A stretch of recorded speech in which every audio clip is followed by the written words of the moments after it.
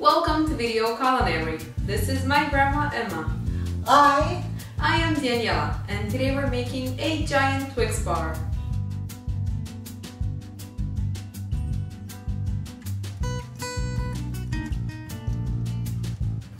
Make the soft caramel. Place 300 grams of sugar and 400 milliliters of cream in a pan with high sides. Bring to boil, stirring to dissolve the sugar. Be careful, the caramel bubbles up.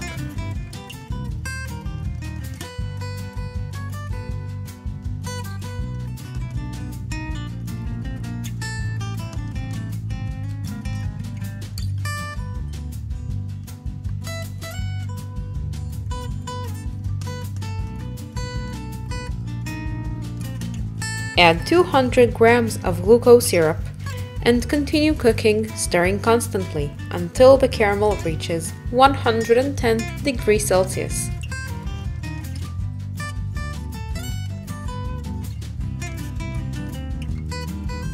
Turn off the heat, add a pinch of salt and 15 grams of butter. Set aside to cool.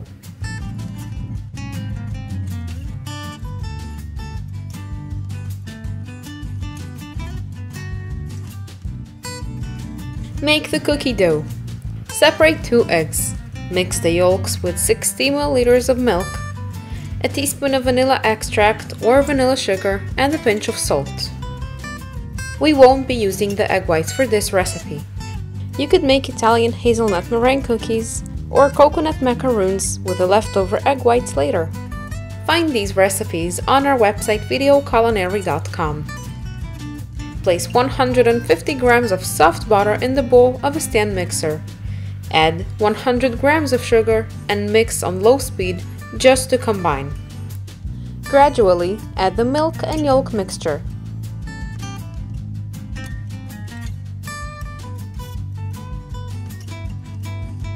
Add 300 grams of sifted flour in a few batches and mix just until combined.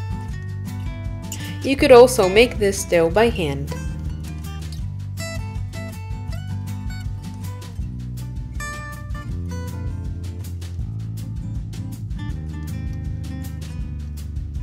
Wrap in plastic wrap and refrigerate for 1 hour.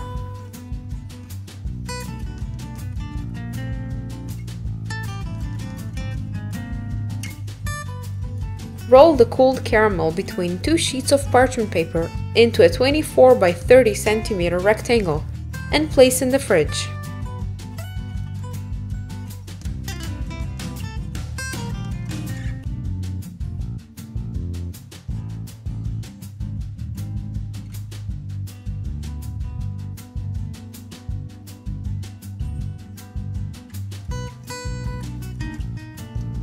Remove the cookie dough from the fridge and leave at room temperature for about 20 minutes. Roll into a 24 by 30 centimeter rectangle.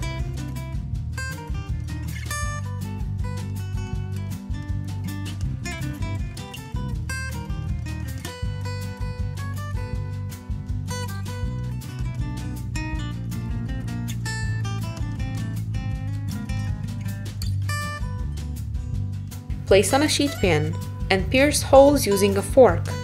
Bake in a preheated oven at 160 degrees Celsius for 20 minutes. Remove from the oven and immediately cut into two equal parts of 12 by 30 centimeters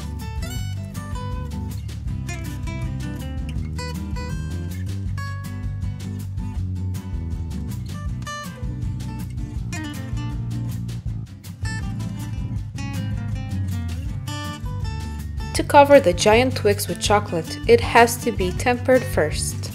Tempering chocolate is the process of melting chocolate and then cooling it down, while following specific steps to get the right type of cocoa butter crystals to form. Chocolate that has been tempered is glossy and has a sharp snap. Untempered chocolate will bloom and develop white spots and streaks. There are different ways to temper chocolate, but all of them are based on the same principles.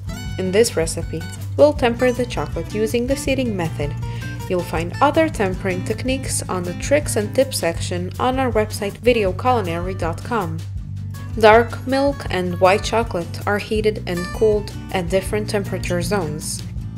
We're using dark chocolate of 50% cocoa for this recipe. If you're working with a different chocolate, make sure to temper it accordingly. If you don't want to temper chocolate, just use compound chocolate, which doesn't contain cocoa butter and doesn't require tempering. Place 200 grams of chocolate in a dry bowl. Set over simmering water and melt, stirring gently. Heat to 46 degrees Celsius. The temperature zone for this step is 43 to 49 degrees Celsius. Remove from the heat Add about 100 grams of chocolate that has already been tempered. A chocolate bar would be perfect for this. You could add it in one chunk or in small pieces. Keep adding chocolate and mixing it in until it no longer melts.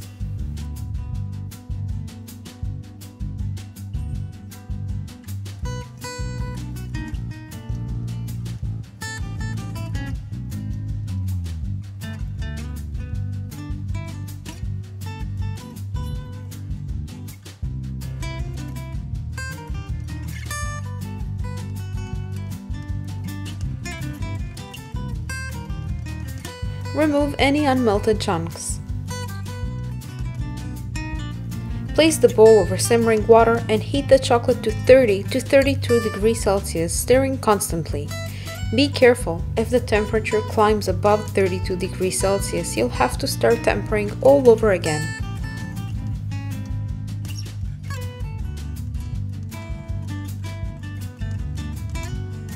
Remove the caramel from the fridge. Cut into two equal pieces of 12 by 30 centimeters.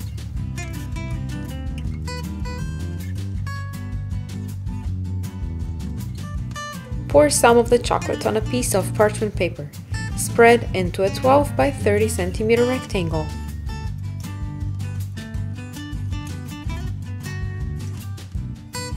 Place the caramel layer on top, then the biscuit layer, another caramel layer and the final biscuit layer, flat side facing up.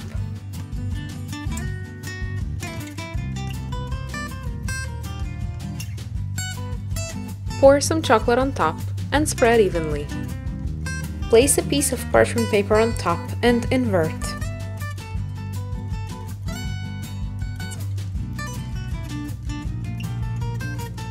Peel the parchment paper off the top layer and trim any excess chocolate from the edges.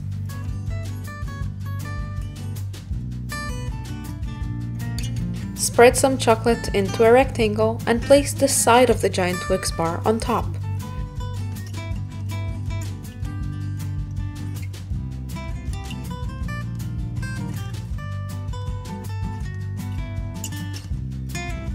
Once set, cut the excess chocolate and remove the paper. Repeat with the other side. You could use a different method for covering the giant Twix with chocolate if you prefer.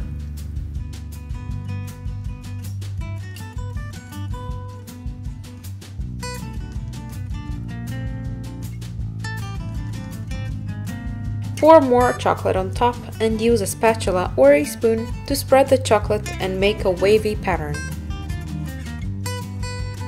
The giant Twix bar is ready to serve. Enjoy!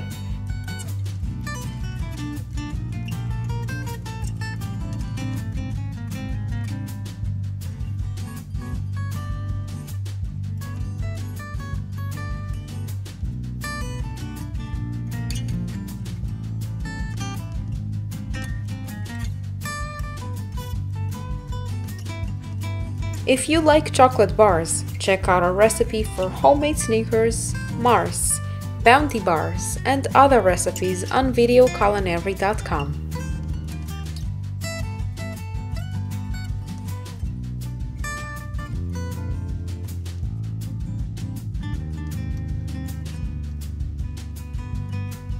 Thank you so much for joining us today. See you next time. Bye. Bye bye.